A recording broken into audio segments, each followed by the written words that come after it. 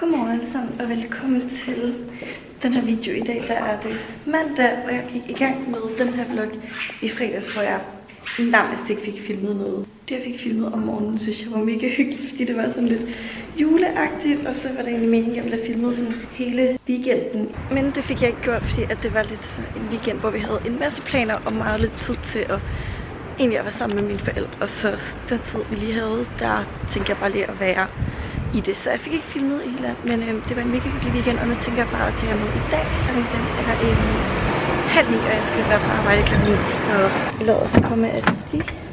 Og det er altså en mandag morgen med sådan ret godt vejr, der er sol, og der er sådan ikke syg koldt. Altså jeg har lige, der er koldt, jeg har bare lige lige jakke på, fordi jeg har parkeret lige ud foran lejligheden og lige ud foran arbejde. Why bother? Men øh, jeg vil køre på arbejde, skal være lige om lidt, og så tænker jeg bare, at i mellemtiden kan jeg sætte de klip ind, jeg fik filmet i fredags. Godmorgen alle sammen og velkommen til den her video. Jeg prøver lige at være lidt stille, fordi at Peter ligger stadig og sover. I dag der er det fredag, og jeg tænker at vlogge sådan en lille smule frem i weekend, fordi at vi skal have en inden der skal lige på arbejde, eller i praktik. Klokken den er sådan 10 minutter over lige nu. Jeg er meget træt. Men jeg møder tidligt en dag, så jeg kan gå tidligt, fordi vi skal køre hele vejen til Jylland, og så skal jeg til en fødselsdag og sådan noget. Så vi vil gerne så hurtigt afsted som muligt. Men nu vil jeg lige lægge mig op og gøre mig lidt klar, og øh, så jeg tilbage. Jeg har fået gjort mig klar til at komme afsted. Klokken den er 10 minutter 8. Jeg har faktisk været afsted halv 8, men det gik ikke lige så længe. Men øhm, Peter han kører mig, fordi at han er nødt til at komme og hente mig efter arbejde, så vi kan komme hurtigst muligt afsted mod Jylland. Jeg skal nemlig være til en fødselsdag klokken halv syv allerede. Vi gik lige netto og købte en lille morgendrik. Jeg har faktisk begyndt at gøre det sådan lidt tit, så går jeg ind og køber en smoothie, jeg kan have med on the go. Klokken den er 1/8, Og ved I hvad det også betyder, at klokken den er 1 minut i 8 i dag, fredag den 10. tror jeg. Fredag den 10. november, klokken 8 på Radio Soft. Det betyder julemusik hver dag. 24-7 hver dag. Hele december. Og det er lige om lidt. Og I skal være med til det. 500 gram kyllingeunderlov til 15 kroner. 11. til og med Kyllingelov? 17. december.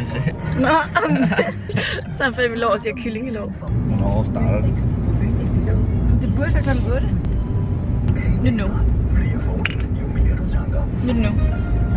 Her er nyhederne på Radio Soft. Vi er langt fra os alle, der er. Nu har der været nyheder og vejr og reklamer. Friskbrygget økologisk kaffe hos Så kan de snart heller ikke. Nej, nu må det være nu. Præsenteres af 3F. Hele Danmarks juleradio med de største julehits.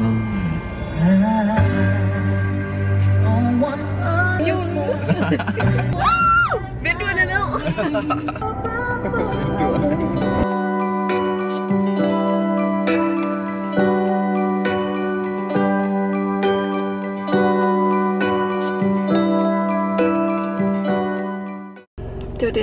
komme afsted på arbejde, og så snakkes vi forhåbentlig lidt på arbejde, ellers så øh, når jeg har fri.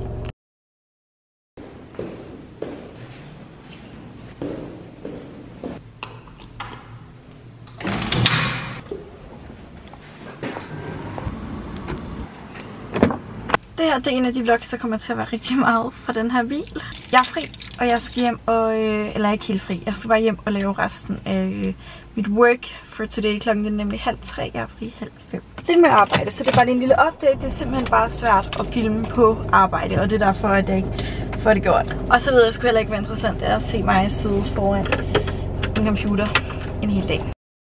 Klokken den er 3, og jeg er lige kommet ind ad døren, og så tømte jeg lige postkasse på vej herop. Og selvom vi faktisk har sagt reklamer, nej tak, så får vi stadig reklamer.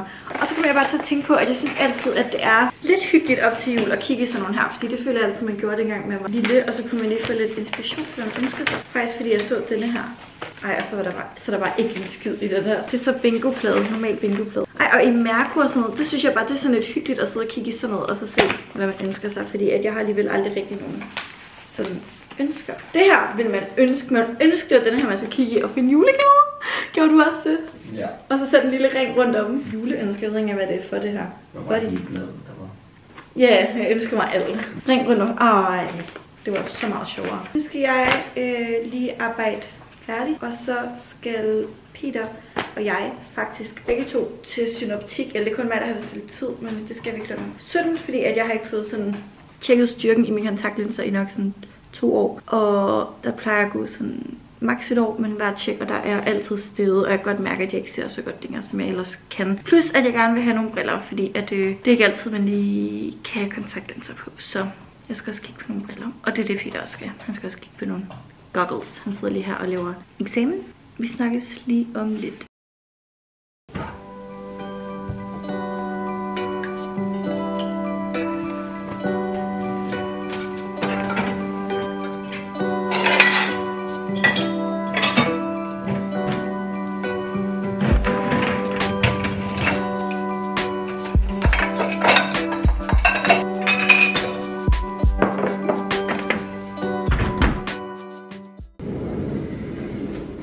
Jeg lige skiftet over til mobilen, fordi at jeg er på vej ned i Netto for at købe noget mælk, for jeg vil gerne have mig en iskaffe, og for at købe noget aftensmad. Så jeg vil tage med. Jeg har taget et lille net med, fordi at så bruger jeg scan and go, fordi på det her tidspunkt er der altid proppet i vores Netto. Og som altid i futter.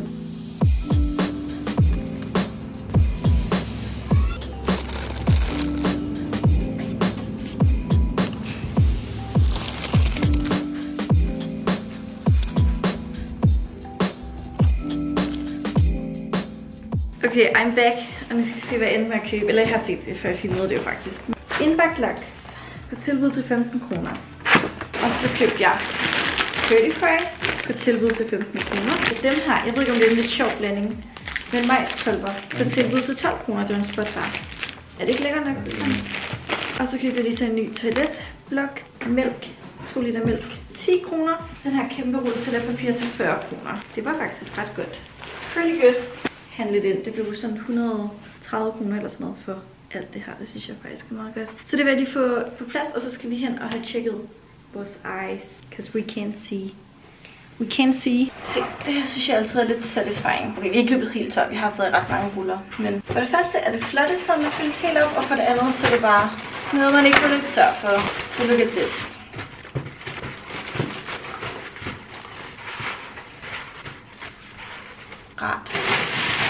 Okay, jeg kom lige i tanke om, at vi overhovedet ikke var løbet tør, fordi der er til lidt nogen. Fordi at jeg købte seriøst også i sidste vlog.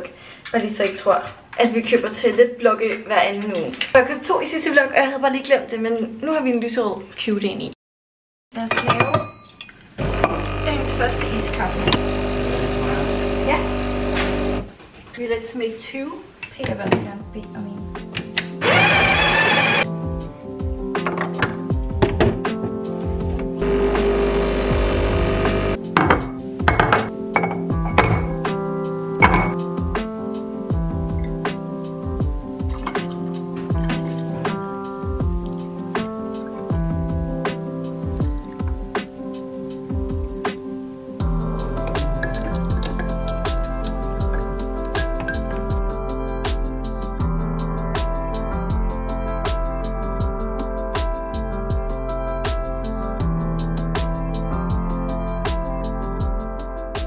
Vi har lige været inde ved synoptik, og jeg fik altså ikke lige rigtig filmet dagen, fordi jeg fik bare lige min kontaktlinse tjek, og jeg er gået 0,25 på det ene øje og 0 og 0,5 på det andet øje, så nu er jeg oppe på 2,5 minus 2,75 og minus 2,5. Og så fik Peter bare lige lavet den der hurtige synstest, øh, og han skal ind igen, fordi han var sådan her, hvordan er du kommet hen, så du må ikke køre bil, fordi Peter, han er så blind.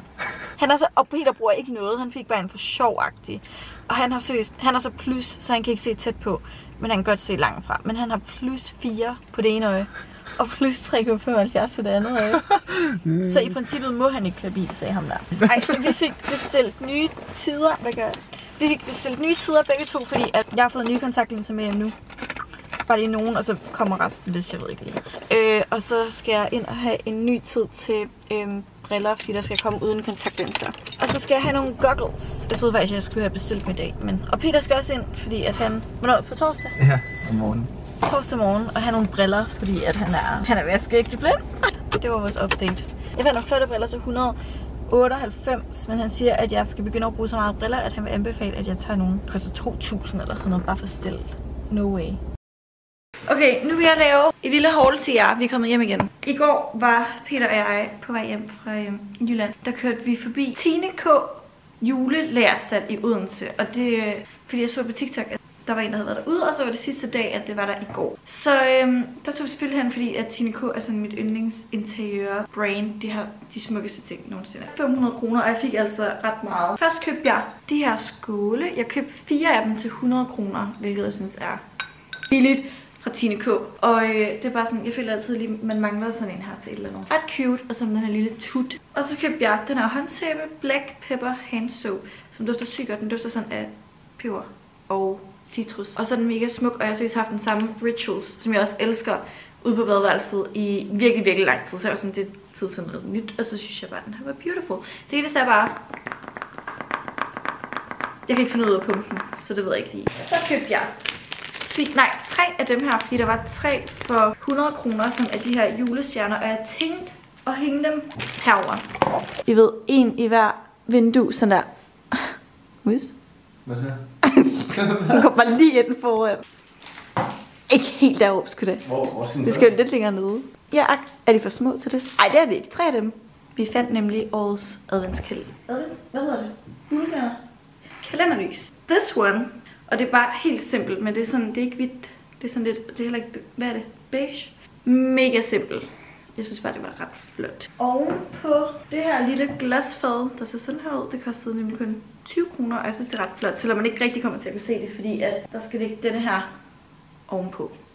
Og det hele, det var altså, øh, det fandt jeg på Tine K. Like so. Og det er altså allerede kommet frem, for man må godt begynde at julehygge. En lille smule. En lille smule. Sidste uge købte jeg også ham her i Plantorama. Jeg synes, det er synd, hvis han skal ned i kælderen, og også lidt en år at stille ham ned i kælderen, når han alligevel skal op om lidt. Så han står her, og det er så en, der kan få lange ben. Whoop. Er han ikke sød? Nå, det er blevet øh, lidt senere. Peter han har siddet og skrevet eksamen indtil nu. Han har lige taget sig et bad. Jeg har lige taget min bøjle i, fordi at jeg har ikke også så god til at have den på på det seneste. Så øh, nu prøver jeg lige at tage den på igen, bare lige for at se, hvordan det står til. Men øh, jeg vil komme ud i køkkenet og komme i gang med at lave noget aftensmad. Alt er egentlig noget, der godt kan laves i airfryeren. Vi har jo fået mine forældres gamle airfryer. Super duper easy. Sådan. Og så kommer vi lige noget salt i. De må gamle salto. Cute set. Vi fik en gave. Det er fra H&M Home, og jeg elsker det. Så skal vi have tændt ovnen. Lige have den her ud. Og hvis I ikke har prøvet dem her før, det var altid, dengang jeg boede hjemme, og hvis jeg skulle være alene hjemme en aften, og min mor skulle købe aftensmad, så vælger jeg altid dem her. Med spinat og ostesauce, og det er så lækkert.